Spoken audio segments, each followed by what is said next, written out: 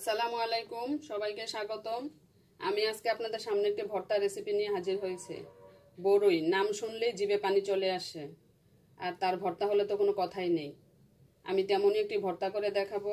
টক বড়ই ও কাঁঠালের মুসি দিয়ে জিভে পানি আসার মতো লোভনীয় টক ঝাল ও মিষ্টি ভর্তা। তার জন্য নিয়েছে, এই যে দেখুন, বড়ই নিয়েছে। কাঁচা পাকা মিলিয়ে বড়ই নিয়েছে পাঁচশো গ্রামের মতো।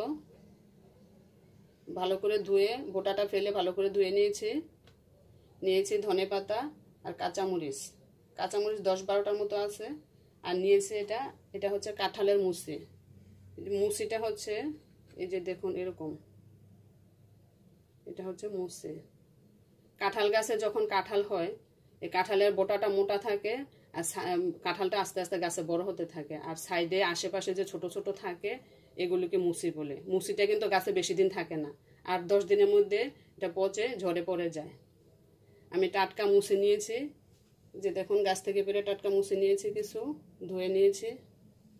আর বড়িটা পরিমাণে বেশি দিতে হবে, মুসিটা কম দিতে হবে, তাহলে ভর্তাটা খেতে ভালো লাগবে। দেখুন, আমি বড়ুর তুলনা মুসিটা কিন্তু একটু কম নিয়েছি। এখন আমি সবগুলোকে শিলপাটায় ছেঁচে নিব। আপনারা চাইলে ছেঁচার কাজটা ঢেকিতেও করতে পারেন, শিলপাটায় করতে পারেন, অথবা হাম, অথবা হামান দিস্তা থাকলে হামান দিস্তাও করতে পারেন, অথবা যদি এরকম গ্রেটার থাকে, গ্রেটারেও গ্রেট করে ভর্তাটা করে নিতে পারেন। আমি সবগুলো উপকরণ আধা চাচা করে ফিরে এলাম। দেখুন, বড়িটা দেখুন। যে পুরোটা মিহি করে নিই, আধা চাচা করে নিয়েছি। কাঁচামরিচ ধনে পাতাটাও মিহি করে নিই। আর দেখুন কাঁঠালে মুসিটা। যে দেখুন, একটু গুড়ি গুড়ি হয়েছে। আর মুসিটা কিন্তু এভাবে ছেঁচে রাখলে লাল হয়ে যায়।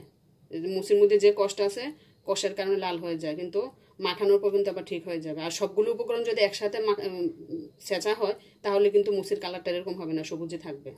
এখন মাখানোর পর সবগুলো ঠিক হয়ে যাবে। এখন দিয়ে দিচ্ছি পরিমাণ মতো লবণ। প্রয়োজন হলে আবার দিব।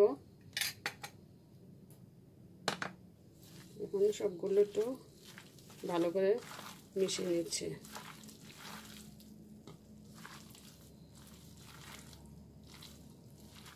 দেখুন, সবগুলো মাখানোর পর যে মুসির কালারটা কিন্তু পরিবর্তন হয়ে গেছে। যে দেখুন, এখন আর লাল ভাবটা নেই।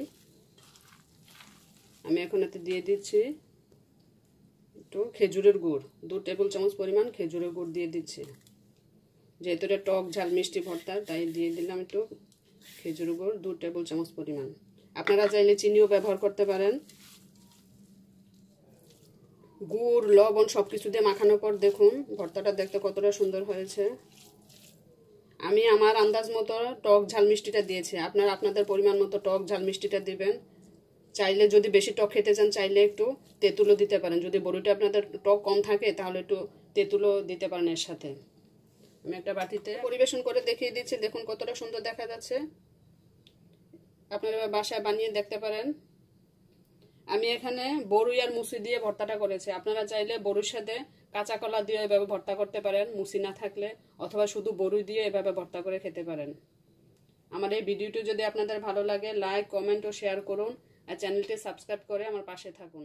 ধন্যবাদ, আল্লাহ হাফেজ।